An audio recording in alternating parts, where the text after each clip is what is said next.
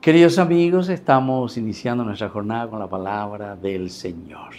Y hoy nos encontramos con la lectura de los Hechos de los Apóstoles, capítulo 18, del 23 al 28. Después de haber permanecido un tiempo en Antioquía, Pablo partió de nuevo y recorrió sucesivamente la región de Galacia y Frigia, animando a todos los discípulos.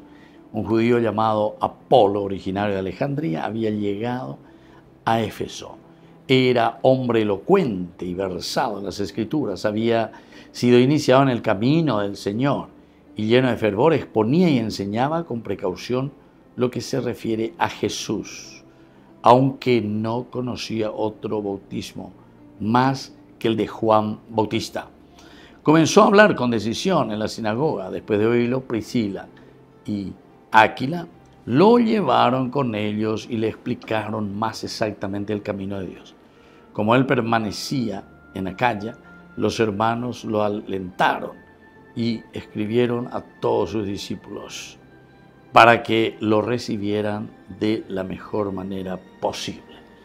Muy bien, queridos amigos, es interesante el hecho de que Pablo sigue predicando Pablo tiene mucho interés en seguir, sobre todo en Antioquía, Yecuacana, Becatú, lleva.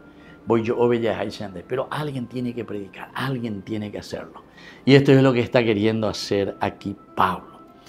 Parte de nuevo y recorre la región de Galacia y la Frigia, animando a todos sus discípulos. iré entonces ya, y bueno, tengo otras iglesias que yo tengo que apacentar. Tengo otro grupo humano en otros lugares con quienes yo tengo que hablar. A Pablo koha e oia lleva ho mosarambi upeisa peña de yara ñe hoy cualquier entero de bemba eva peña de yara la olla poeque que es el cumplimiento de las promesas del Antiguo Testamento. Y así entonces llega hasta Éfeso.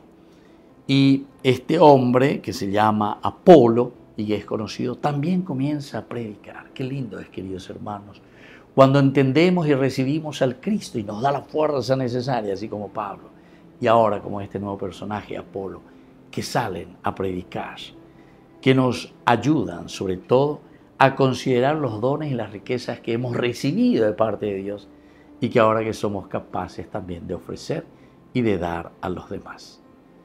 Queridos amigos, les dejo la bendición del Señor, el Padre y el Hijo y el Espíritu Santo. Amén.